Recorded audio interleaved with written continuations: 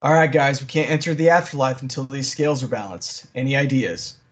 Uh, I mean, I guess we could atone for our sins. Okay, okay, making better choices. I like it. We could remove that brick of cocaine on one side of the scale that's weighing it down. Oh shit! I've been looking for that. Here, I'll grab it and see if it helps. Nah, looks like we're still going to hell.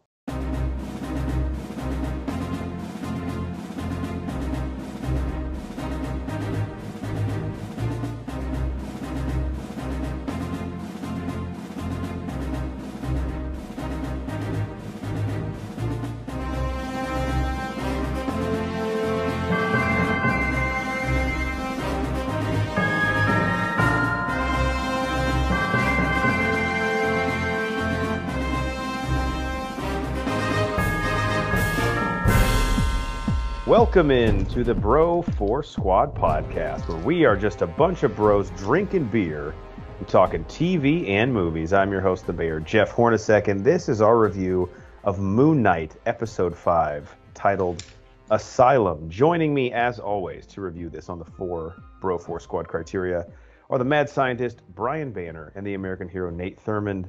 And the aforementioned criteria are the acting in the episode, the story of the episode, our favorite scene in the episode, and theories or questions going forward. So, uh, Banner, let's start with you. The acting and cast in Moon Knight Episode 5. What do you think? I think they underutilized Ethan Hawke. I think, I think he was brilliant, and one of the only good things to say about this episode. I think before we get really into it, the context is important for this show. Uh, I think, and if I'm speaking incorrectly for someone, please correct me. But episode one, we were intrigued. Episode two, we were very close to bought in. Episode three, I was fucking digging it. Last episode lost us. This episode has continued that downward trajectory, I believe. Uh, Nate, you can correct me if I'm wrong, and then also anyone acting wise, positive or negative, you want to talk about. Uh, no, we're pretty much on the same boat. and even after last episode, I feel like as maybe the most optimistic one on here. Um, maybe some faint optimism, just trying to hang on and and structure it in my head to where I could like it. But after this, um, yeah, it's just not doing it for me. And it's not even necessarily the episode in and of itself. It's just the structure of the whole series, which we'll get into in a second. Um, but for the acting and cast, uh, yeah, pretty much echo what Banner was saying. Um, and adding to that, I did not like the hippo at all. God um, damn it, that hippo was fucking ridiculous. I, the voice they're doing with it, I, it just doesn't fit with me. If, and if he's really like in the um, Duat or whatever it is, like the afterlife for the Egyptian gods, cool. Like where did she where did she adapt that voice? I, and maybe it, it's a projection of himself. Or and why or he's, is he's a fucking hippo moving us there? I whatever. Yeah. I don't know, but uh, yeah, I was not a fan of the hippo.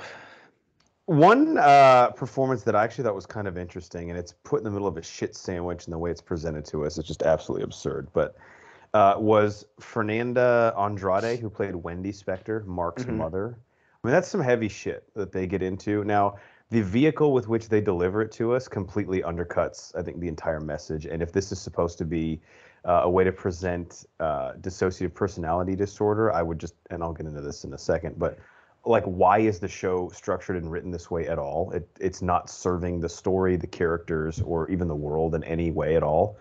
Um, but the powerful stuff that she had to do even though i thought it was put together really poorly and sort of like it's such a minor part of this entire series to this point even though i feel like it is really important.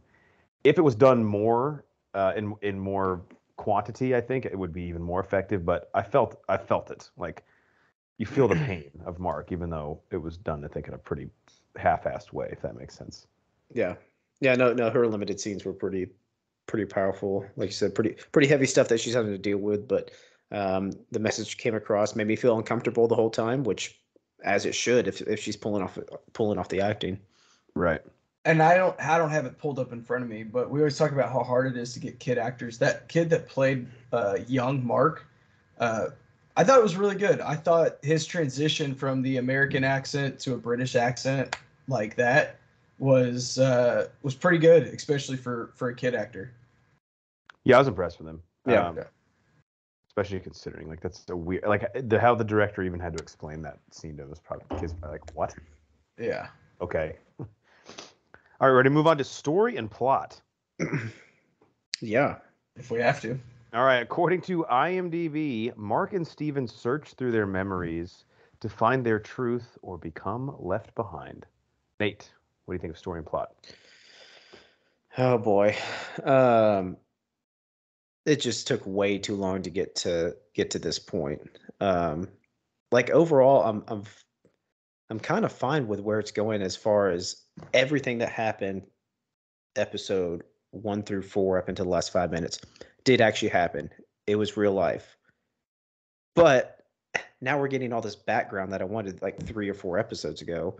Um it's just so out of order it's tough to follow and it's tough to like actually hang on to the story now and like dig in and be like oh this is his haunted past this is where he was at um, this is how he was driven to be a mercenary and become Khonshu's avatar and all that shit it's just so disjointed uh, it lost me before it got to the meat and potatoes of the whole series Yeah, I wrote down if it this episode felt like the show it was almost like a challenge where they said, How can you deliver the important information in the show in the most pretentiously eclectic and convoluted way possible? Like Mhm. this feels like how someone who- who is like a, a major in screenwriting and has a really s- snooty and stuffy professor would write the story of Moon Knight. Like, why is any of this delivered the way it's delivered to us? It's really fucking annoying and it's unnecessarily complicated, I think,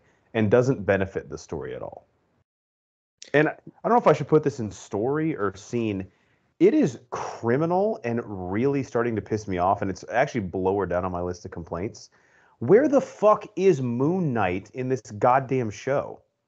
yeah I mean, we didn't see him once this episode. well, the brief transformation, but it doesn't do anything. And then we didn't see him at all last episode. We've seen him like do two Moon Knight things in this entire series because I'm not counting what he did at the end of episode one, where he threw one punch and then stood up and the camera went into his chest. Like, this is Yeah. bullshit, man. This is ridiculous.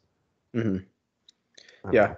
I completely agree. Yeah, there's there's not enough of the uh, namesake for the series in this at all. And li- li- like I said, this should have been episode two, um, Yeah. or episode three at the latest, just giving us that background. But th- this is the shit we were complaining about, and we're actually trudging along with it as it went along. We're like, we're confused, we need a little background, we don't know exactly what's going on, but we trust the process. And then the process just got turned on its head, and they did everything completely backwards. So it's it's not making a lot of sense to me. And like the uh, the development of like his character that would be fine if they did it in the correct order but I, I just can't jump on board with it now it's And it's all over the place the lack of Moon Knight, you can't even say it's an origin story because, and Brian, I'll, I'll send this over to you. It's really not, right? It's When- not. when we meet Mark, he's already been Moon Knight. So they can't even act like, well, man, we had to set all that shit up. So you kind of knew what was going on. No, because you didn't set any of that shit up. And I kind of now know what's going on. I just don't give a fuck anymore.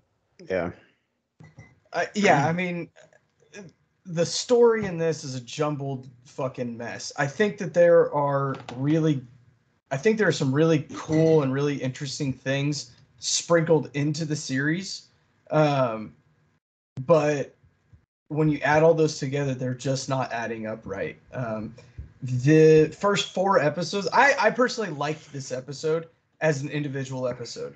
I I liked how we show we got to see where Mark's anger is all rooted from and all this stuff with hi- him and his mom. Um, I I kind of liked how we were Steven learning it all for the first time and seeing his emotions to all these atrocities that uh, have happened in, in Mark's life. The episode as a whole, I liked it, but it, it didn't pay off four previous episodes as it should have the four the first four episodes could have been combined into two. This should have been your third episode. And then that leaves you three other episodes to explain to me what the fuck is going on because i still don't know what the fuck is going on. I i i don't know. Like what are we doing here? I guess even if we put the narrative aside, which uh, like I don't think there's been any surprises there. Like Harrow, since pretty much the beginning of episode two, has told us his plan, and we've kind of known where that was going, and I was interested in that. So let me ask this, and I'm not asking this question to be an asshole. I'm like genuinely wanting to know the answer. So this episode five, I guess you could let's not call it a reveal. Let's give the showrunners more credit. we learn that Mark and Steven, or I guess Steven specifically, was created to mask or a place for Mark to go to hide from his pain, right? Yeah. And the trauma he had as a child. And then, assumedly, because again, unreliable narrator, we can't really trust anything. Assumedly, Steven dies or that persona goes away at the end of this episode. So, what does this, I guess, new information actually add to anything? We've already known he's a split personality inside of Mark. Uh, we already know Mark's done some horrible shit in his life, which he's told us explicitly. I guess we learned that he had a brother who died named Steven, but like, does that, I mean, what does that really do for us at this point? Not too much. Um, because at the end of the day, what he, he's on a journey right now to the field of reeds to the afterlife because he is dying right now. Um, ultimately, where I see this going is they're going to unlock Khonshu somehow. Well, kind of drifting into theories and questions here, but unlock Khonshu somehow. He's going to save him and get him back to reality. Um, but I, I, think that just kind of makes this a, a, moot point at that at this stage in the story. Um, why Wait, did he have to get? Why did he have to get rid of Steven? Because him getting rid of Steven was him to balance the balance the scales, get to the field of reeds. Ultimately, I don't even think that's where they're going to go. He's going to go back to reality. Uh, I think that's just kind of a a jumbled way of telling his background. So, and I think you're exactly right. Khonshu's going to repossess him. He's going to come back as Moon Knight. But why did they show us this story? Why didn't they just show us the original time Khonshu did that to possess him? His actual yeah. origin story in sequence without this weird fucking fever dream.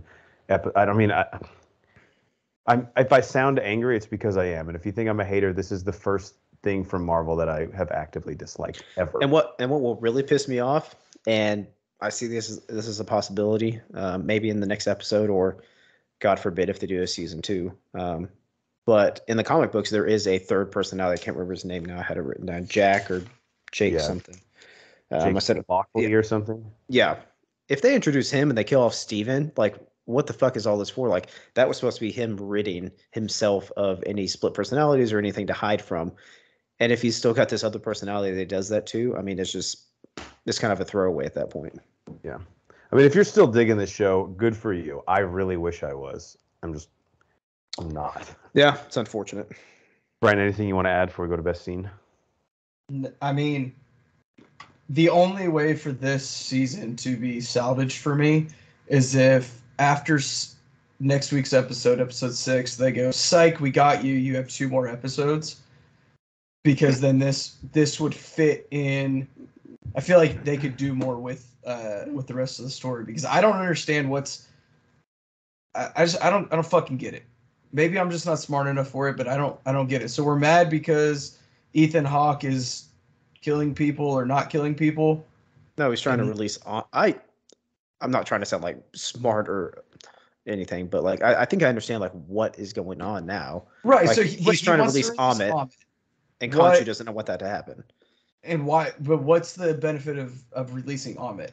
Does Ammit have like an army that they can take over the world? He's or? basically basically going to do the same the do the thing where he is judging people if they have good hearts or bad hearts, and kind of like in episode two, I think, where that lady was killed. Right. They're going to be judging people um, and potentially maybe killing some of the population. Another reference to the scales. I yeah. just that that is a stupid fucking plot. Agreed. I mean, that, it's whatever. I just don't like this. I don't like the whole story in general. So, I mean, the way it's being presented to me, it makes it really hard for me to give a shit about it because it yeah. seems this show just has ulterior motives. It's this weird, like, art artsy fartsy piece where it's trying to like depict everything is metaphorical and like I trust me, man, I can suspend disbelief, bro. Like I've been a fan of the Marvel Cinematic Universe since day one, and I've lo- been to every single movie, seen every show, including Agents of Shield, uh, and have pretty much loved all of it. And this has completely lost me. It is so interested in itself that it doesn't even need me to buy in because it insists upon itself. That's a, it. Actually, it really does. We joke, use the Peter Griffin quote, but it really does insist upon itself. All right, Brian, did you have a best scene? No. That's a great way of phrasing it. You've never phrased it that way before. Did you have a best scene? Did you have a best scene? Yeah, this is a part. This has never been like an optional part of the review, but I fully accept and endorse Brian saying that. Uh, Nate, has No, I, I literally don't. I was trying to think about it, and there were parts that I liked, but there was no specific scene that I was like, "Damn, that was really good." Mhm. Uh, yeah, and, and kind of just taken aback and what Banner was saying a minute ago, like he liked the episode in and of, of itself by itself, not in context of the season. I think I can kind of get in that mindset and pick out a favorite scene, which would be when they're at the wake or funeral of Mark's brother, um, and that's really when uh, Fernanda Andrade, his mother, uh, really busts out ha- has her chance for like the one time in the episode to bust out the big acting chops and really drive home the root of Mark's suffering and his pain being more or less blamed for his brother's death um, and coming directly from his his mother someone he loves and trusts um, so that that that was like a good root scene for the development of his character overall. Now, was it put in the wrong wrong timing in the season in episode five, halfway through? Fuck yeah. But just in and of itself, I thought that was a great scene. I guess I really love that scene. Loved. I mean, it's a relative. I mean, I thought it was really, really well done. And the scene where uh, young Mark like has his birthday cake with the candles, and it's it becomes Ooh. evident to him that his mom is not coming. Mm-hmm. downstairs. But th- that also just made me question like what story are the showrunners here interested in telling us? Because that stuff is really interesting to me and is like a powerful uh, thing with like a family dynamic that Marvel's never really gotten into yet. And it almost felt like they, they put it haven't. Right. It, it felt like they put it in here because they're like, well, you guys need to know his backstory. I'm like, well, I mean, you don't seem too interested in telling the story about Mark Spector as a mercenary. You don't seem too interested in. I mean, what do you want to tell? Is what uh, like what's the point here? I, mean, I hate to bring that up again in best scene, but it's like, what are we doing? What's the point of the show? I sort of tongue in cheek wrote down this is verbatim what I wrote for best scene. I guess the first time we've gotten Moon Knight in two episodes for half a second with the flashback to Mark being possessed by Khonshu. It's always cool when the titular character shows up for seven seconds of screen time in a show, right? For the first time in two episodes. And again, I think there's a lot of stock in just that scene by itself. It it, it does add a lot, but when they put it in the series was shit. Um, and, and we're kind of disassociated and disinterested now because of when they did that. But yeah, I would have loved to have this scene three episodes ago. That would have been fucking awesome. Like getting the introduction of Khonshu whenever Mark met him, he saved him from dying and all that. That would have been great building blocks for the next episodes. Brian, uh, I haven't listened to his most recent review, but our good friend of the pod, Ethan Simi, on 15 Minutes of Marvel, which is a great podcast. You guys should go check it out. Yeah. But he, this was his most anticipated Marvel property of the year, which is telling in how much he loves Moon Knight. And he's been digging this. So I, I am glad people are enjoying it. I'm just telling you right now, this thing is so far beyond being able to redeem itself outside of some really crazy fan service in the last episode that I just am not having fun with it at all. Yeah. Yeah, I I just I don't understand. Like you you kind of you kind of alluded to it a minute ago. Like I don't know what story they're telling here. Are they trying to tell the the personality story of Mark and Steven and how he got there and focus in on that and his his family dynamic, him being a mercenary or all this stuff that's going on with uh Harrow and and uh, releasing Ammit.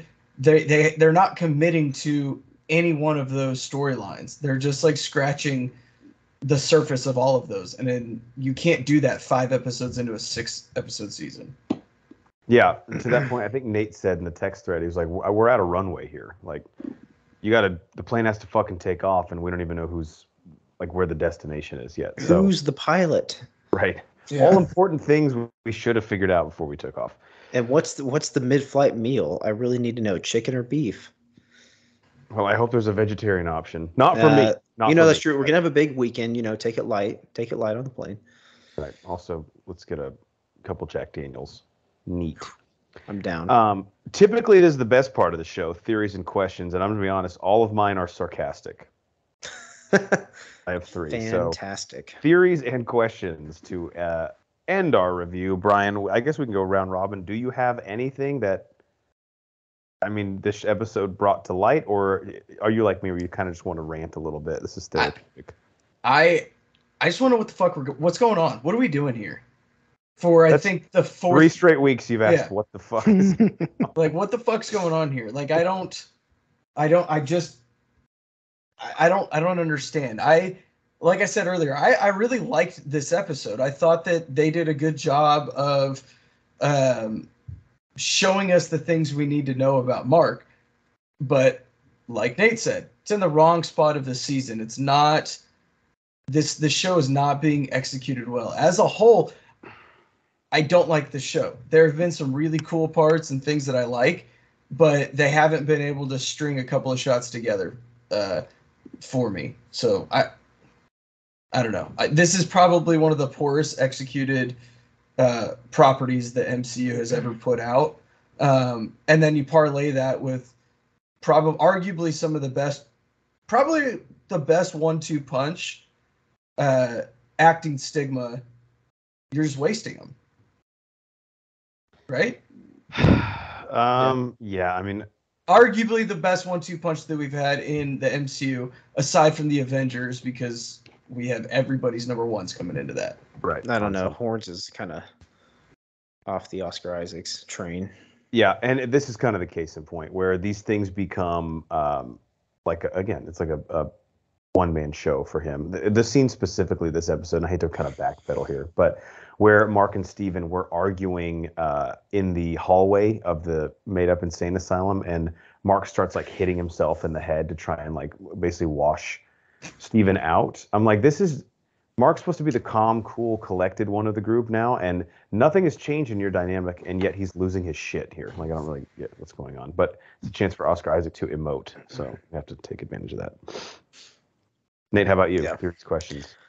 Um, yeah, not too too, too much on my plate um, this time, but uh, what I briefly mentioned, I think this was probably segue into maybe one or two things you have, but um, it was briefly mentioned in in the episode that they're going to try and get Khonshu released and getting him getting him out to more or less resurrect uh, Mark at this point. So um, I'll be happy when that when and if that does happen, so we can get back into reality. Um, so I'm I'm assuming they're going to have to use the hippo lady, which was not a fan of, um, to implore some of the other gods um, to use some of their their magic or their otherworldly powers to get Khonshu out for the better good, so they can get Mark back um, and reunite, and then we'll finally finally get some good Moon Knight in this. Let, let me ask you guys this because I guess this is a two part question. You know, you can go first. Number one, I think it's a fair assumption, not a fair assumption. It's a fair thing to ask and and put the onus on the showrunners. Will this series end with us returning to the quote unquote real world? Do you think we'll get there? I, I don't even so. know what the world real world is anymore.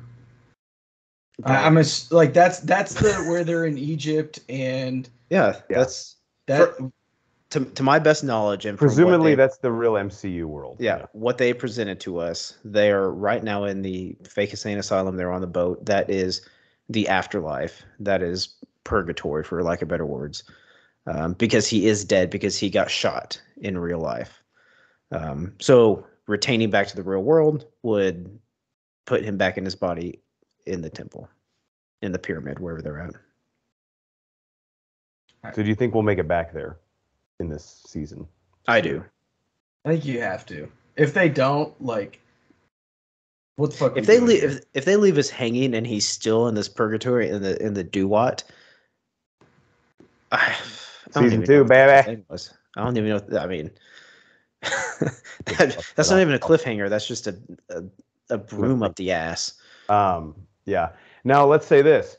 So Mark's because again, this se- episode ended on an almost a stupid cliffhanger as the last season. Like I don't give a fuck that he's in this wheat field now. Like just Jesus Christ, can I see some goddamn Moon Knight in the show Moon Knight? I know that's a lot to ask. So if he gets back to the real world, becomes Moon Knight, and kicks the shit out of Arthur Harrow, and he saves the day, like w- this seems like the most insane plot to a series of all time. like the most circuitous and like worst route or path to get to the ending that we could have possibly had. Right? Like it's just so much wasted time. Yeah, I think so. I mean, I, I can't see where I would even want this to go after the fact if that is what happens. Which, I mean, that's honestly kind of shaping out how uh, shaping up how it's looking like it's going to be. He's going to come back. We have a perceived strong antagonist in Harrow now, um, so that's going to be his main objective is getting back to him and getting him to stop what he's doing, raising Ammit. But yeah, we we we come to the end and we're just like, okay, cool. What next? I don't I don't know. The series started, and he was Moon Knight trying to stop Arthur Harrow. Now we've gone through all this bullshit, and the series will most likely end with him becoming Moon Knight, stopping Arthur Harrow. Yeah, I could see this ending. Um, like I was saying, it would disappoint me and piss me off with the introduction of his third personality, um, which I, I, feel like that would just be just to slap, replace Steven. A slap in the face, yeah, just replaces Steven, so it negates anything that happened in the duo in the afterlife. It, uh, Perfect. That's my theory. I think I have a strong feeling that's going to happen, just because a lot of the shit that you see online pop up from the comic books, it does end up tying into the series or tying into anything that we've seen in the Marvel universe. So that third personality is going to pop up, and I'm just afraid there's going to be a big slap in the face at the end of this. Yeah, uh, this one is I have as a question. So this show has had next to no Marvel Cinematic Universe connections. Mm-hmm. Way less than I thought. I think you can definitely make a story that is very self isolated, self contained, while still acknowledging the MCU. At this point, they're giving us middle fingers just in our faces constantly, up our nostrils, in our ears. The astral plane reference, like, are you fucking kidding me? Just fuck off. You don't want this to be in the MCU, so don't have a hippo say the two words astral plane to me this is connected to the MCU. That to me felt like a huge slap in the face. And at this point, that's where I'm out. Like, at least do something to try and keep the desperate people like me who are still watching because it's an MCU property and I want to make sure I keep up with continuity, but I'm disinterested. At least throw me one fucking bone. And a hippo saying the phrase astral plane is not that bone. I felt insulted by that. Am I blowing this out of proportion? Probably. No, but is it valid? I think so. Was what valid? Him getting just acting like this. Oh, because yeah, I, I agree valid. with it. It's fucking stupid. Like, I don't know. We're getting a second season, guys. um, Brian, Brian, do you have anything else? no, no. I mean, I, I, I, the only, the only thing in my mind that this is, we're getting a second season, and I hate to say it, I don't want a second season, but I, I feel like that's the only route they could go to right this wrong, and I, I know the MCU is going to want to right the wrong. They did it with Thor: The Dark World. I hope I hope they're cognizant enough to want to make up for some of the shit in the first season. Maybe we're in the minority. I don't know. Maybe but we live in an echo chamber, so maybe it's. I mean, it, it's a possibility, but um, for as connected as, especially you two have been in the Marvel universe and the Marvel series and movies and everything, I, it's just, it's not an accident that we all do not care for the series. Yeah. I'll say this: this show's fucking lucky, and maybe this was done intentionally, but I have Doctor Strange and the Multiverse of Madness tickets next Thursday, so this thing is going to end as a huge double tapered shit, and I'm going to forget about it in 12 hours because Marvel planned it right and dropped a turd right in front of my most anticipated movie, probably since Avengers Endgame, uh, in the MCU. Even Spider-Man: No Way Home, as fucking cool as that was, I think this is going to have some badass cameos and it's going to make me forget about Moon Knight. Hopefully, and it'll be fine. Do you think Moon Knight will end on a cliffhanger and he shows up in Multiverse of Madness? I hope he's not in that movie. No. I just that wasn't my question. Though. I'm just very dis. I don't think he'll be. I'll say I, I, I, don't see how. I don't see how he fits in. Yeah. I mean, at this point, he doesn't even have a fucking suit. He's just a dude at this point. True. That was my, I guess, last thing I had. And uh, Nate, I'm sorry if you had some, but this kind of ties No. into exactly what Brian No. said. Take it off. So it's a facetious question, but I think we can actually answer it. Has this? So I mean this partially, again, facetiously, partially earnestly. Has a show ever existed with less screen time, or I guess less interest in the titular character? Like, imagine Seinfeld, but every episode centers on Newman, or The Simpsons, and all it is is Ned Flanders for ninety percent of the show. Like, we have not gotten Moon Knight.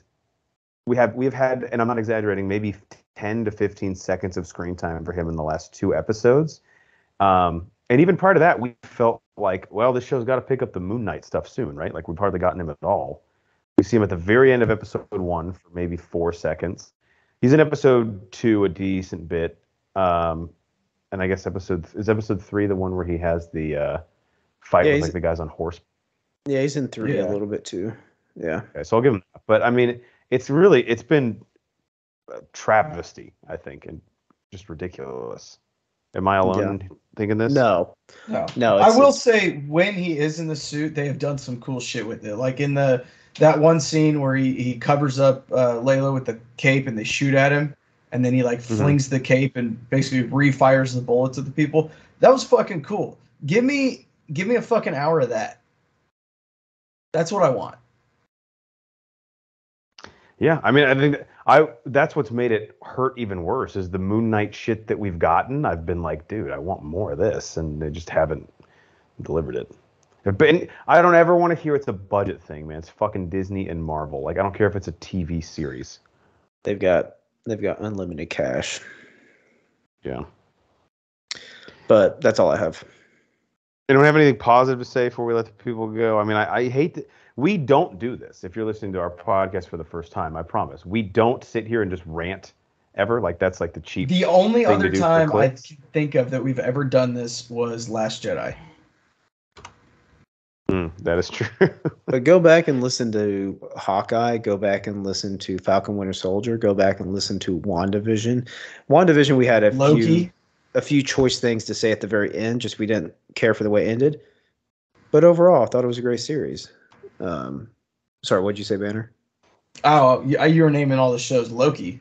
Again, I love that no, one fucking- too. I mean, Loki is Loki's great, great. Loki's one of my favorite series, just in general. So I'm But- angry because I want to like this. Like I'm I'm really really upset that I don't like this and that it sucks so much. yeah, I think what I'm most upset about is that typically I'm going to give the benefit of the doubt to Marvel and to Kevin Feige. And it's really hard to ha- still have faith in look, the MCU always has has a plan. They're always playing the long game. They've never struck out like this. Mm-hmm. And I'm trying to have the faith. I'm trying to keep the faith. I want to keep the faith. I will say this: Marvel has, especially with their TV series, for the most part, like Falcon and Winter Soldier and Hawkeye were safer plays, but they have been taking big swings, and I do appreciate that. And it's sort of like the M Night Shyamalan uh, rule, where it's like you you just inherently, when you do that, when you try and you know nut up and swing for the fences, you're going to strike out a few times. It just happens. So no, it's not fair to expect them to have a 100% success rate, but we also have to call it how we see it. And this, I don't even really think there's a way the show could end where I wouldn't consider it a failure, to be honest. Like nothing within reason that could happen in the last episode. yeah, it'd be pretty tough to turn this around. I mean, I don't want to say like we. I think we have the show figured out because it has. I don't want to say it's been unpredictable, but it's definitely been. I Out there. 100% can tell you I have nothing figured out because I don't know what the fuck is going on. It's just crazy, like totally random segue, but just looking at the last episode, episode five, Asylum on IMDb has almost nine thousand reviews, nine point two. Yeah. Okay. So maybe it's just us, but that's. I mean, I don't know. I just don't get it. I really don't get it because I don't even think this is high concept. I think it's just pretentious. yeah. Like it's not like the Matrix where it's like, dude, I kind of this is like an, an allegory for a lot of things in real life. This is like them just spinning our wheels, and it's not even fun. Yeah, at least we're all in the same boat together here. Marvel's doing better with bad guys, and I think that they've just fallen back into their own trap of having shitty bad guys again, or doing shitty bad guys again. Well, I think Harrow's like the one thing in the show that I actually like. Yeah, Yeah, but we're not getting any anything of him, so they're just they're yeah, but you can't say that they failed at the at the bad guy just because they haven't. I mean, this show has a shit a laundry list of things it's done wrong. I wouldn't I wouldn't personally put Arthur Harrow on the list. No, I think not their utilization of him, not enough of him, is I guess is what I'm saying. Okay, that's fair. Yeah, that's the thing. Even when they do something right, like Moon Knight suit and Arthur Harrow, my two favorite things, and we don't really get that much of them. I got another question. What what the fuck was he the therapist for? I don't get how he keeps snapping back and forth between the fucking boat with the hippo and then the office with the, the Thank you. Yeah, I don't I don't want to drag this out, but yeah. Yes, thank you. I totally forgot to bring that up. Like he'll be in there and like get drugged or whatever and like I don't know. He's like in the afterlife Well, but then, then he goes he goes to like, nobody another level. I don't how does he get to the other level? It doesn't make sense. and it's like as as the creators of this the people writing the script you can just literally do anything you want because you can be like well he's mentally unstable i'm like yeah but like there has to be some continuity to the point where like i can keep up with the story if they Yeah. snap again and he's at an orgy with a bunch of pigs and they're all dressed in like uh Ku Klux Klan regalia, like that doesn't make sense. But you can't just say, "Well, he's mentally unstable," so that's why we put it in there. Like, Yeah, he's mentally unstable, but the, the environment you have him in right now is he's dead. He's in a controlled environment because he's in the afterlife, which obviously this hippo lady is one of the gods who's there, so it's it's kind of controlled because she's done this before. She takes people on the boat, she takes them to the uh, field of reeds. It's not like we're in his mind right now controlling this. They're we're in an afterlife. It doesn't make sense how it can jump around to his own accord because we're not in his controllable universe at this point. We're not in his head. Yeah. I digress. just- I digress. And again, these aren't things I'm even interested in knowing. I just am pissed off that it's so convoluted and Yeah. confusing. Like with again, I hate to keep making the True Detective analogy because this is not, is apples to oranges in a lot of ways. But Nate and I were very confused at True Detective, but we're like obsessed with finding the, the answers to the things we didn't know. With Mhm. Moon Knight, I just feel like I'm being laughed at by the showrunner. It's again, it's a Rian Johnson situation. Well, the and I showrunners like find it interesting that we're confused. I feel like with True Detective, the answers were there to find if you if you looked hard enough. Yeah. With this, I don't care how hard you look, you're not gonna fucking get it. No. Or Not let me until rephrase they- it. I'm not gonna fucking get it. Well, not until the they wait until the second the penultimate episode to reveal some of the most telling features of his childhood and what really shaped him as a human being. So Yeah. Man, this was unlike. I can honestly say this is unlike any review we've ever done, I know I want to get back on a happy review. for real. But hey, you want to tune in next week to the Bro Force Squad podcast? Because can we get four straight weeks of Brian's leading question and theories and questions being, "What the fuck is going on?" Tune in next week. Appointment television, right there. All right. Any last thoughts, Brian, before we let the people go? No, I I have nothing more to say. Nate, how about you? I've said my piece. Yeah. Uh, just make smart decisions when you get your hair cut. We don't usually say that on TV reviews, our words of advice, but I think I, I think it's good to end with some uh positivity. Something. Thank that you. positive? Yeah. It's not positive. I don't know. Uh, It's I just, mean, it's just sound sage advice. That's true. it's friendly advice. We could- advice. We could always use more of in the world. Yeah. All right, for the mad scientist Brian Banner, the American hero Nate Thurman, I'm the mayor Jeff Horn second. We are the Bro Force Squad podcast. Thank you guys so much for checking us out. Please follow us on Twitter at Bro Force Squad. You can find us on YouTube, Apple Podcasts, Spotify, iHeartRadio, pretty much anywhere you find your podcast. If you type in Bro Force Squad as three separate words, and don't forget to go to our website broforcesquad.com to check out all of our content and our running list as we count down our top 100 movies of all time. Till next time, we have to go talk to this hippo lady. I think she's working at the DMV, and I need new tags. That's gonna take forever. Do you have a number? Did you get a ticket? I thought it was just first come first. Fucking no, I'd need a number then. Yeah. Sorry, back of the line.